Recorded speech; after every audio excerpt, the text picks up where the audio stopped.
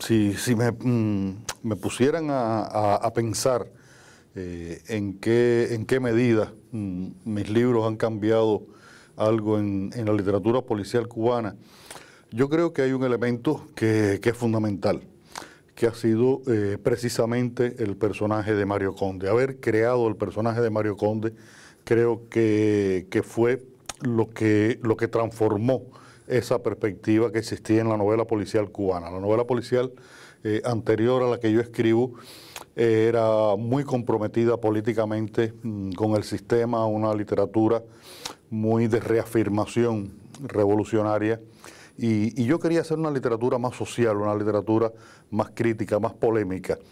Y la manera que encontré fue no solamente desarrollar determinados argumentos en los que pudiera moverse a esa polémica, a esa crítica, sino un personaje, que es Mario Conde, que fuera capaz de interrogar esa, esa realidad. Mario Conde, bueno, surge en la, en la primera novela, me ha acompañado a lo largo de, seis novelas ya, y mm, a veces me preguntan si es mi alter ego, si, si mm, de alguna forma me representa a mí mismo, pero, pero bueno, Mario Conde es un personaje literario, yo soy una persona real. Lo que pasa es que compartimos muchos puntos de vista, muchas maneras de, entender y de interpretar la, realidad. Incluso compartimos gustos literarios, compartimos esa pasión por la amistad que, tiene Mario Conde, eh, por los cigarrillos, eh, no la misma por el alcohol, él, toma mucho más que yo, pero Mario Conde mm, es una creación muy literaria, muy literaria. Mario Conde mm, no hubiera podido ser un policía real. Mario Conde es un policía literario que tiene toda una serie de características que yo necesitaba para que pudiera servir de, mediador, de intermediario, de, intérprete entre lo que yo pienso y lo que quiero decir de la realidad cubana. Él está en el, en el medio de toda esa relación que, existe entre, entre mis ideas, mi percepción de la realidad y lo que yo represento de la realidad.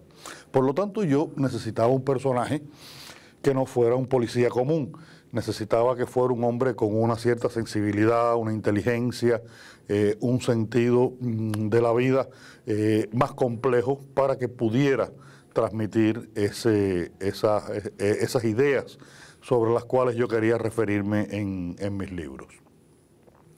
El personaje mm, ha ido, en las primeras cuatro novelas, todas ocurren en el año 89, pero ya en Adiós Hemingway y en La neblina del ayer, eh, el personaje ha ido envejeciendo con los años, han pasado los años, y su misma percepción de la vida ha cambiado, su forma de, actuar también ha cambiado con los años, como ha cambiado la mía. Y, lo que pienso es que en las próximas novelas en que aparezca el personaje, eh, ese proceso continúe. Ahora mismo estoy eh, comenzando, comenzando solamente a preparar una nueva novela en la que aparece Mario Conde. Ya va a aparecer con cincuenta y tantos años y, va a, arrastrar un poco mm, lo que significa eh, tener cincuenta y tantos años en Cuba en estos momentos con las condiciones que han eh, ido cambiando en, en el país y sobre todo para que siga siendo una expresión de eh, las incertidumbres, de las ideas de mi generación. Creo que eso eh, es muy importante en el, en el personaje. Y, Mario Conde, al igual que yo, es prácticamente un hombre condenado a vivir en Cuba. Yo necesito vivir en la isla, eh, a veces como, como casi todo el mundo mm, sentimos que que estamos un poco agobiados, un poco, un poco oficiados con, las cosas que suceden. En estos momentos se vive en Cuba un momento muy interesante. Eh, van a pasar cosas, van a cambiar eh, cosas en la economía, en la sociedad. No sabemos qué cosas van a cambiar, cuánto van a cambiar, cómo van a cambiar, porque todo se mueve como en un gran misterio. No, se, no hay una una comunicación con, la, con la población, con, la gente sobre cómo van a ser esos cambios, pero van a ocurrir de todas maneras.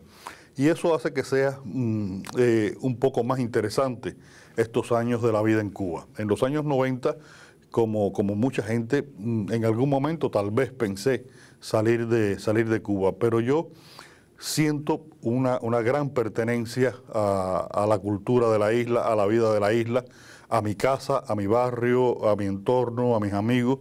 Y por eso, igual que Mario Conde, me siento tan aferrado a lo que es la vida en Cuba.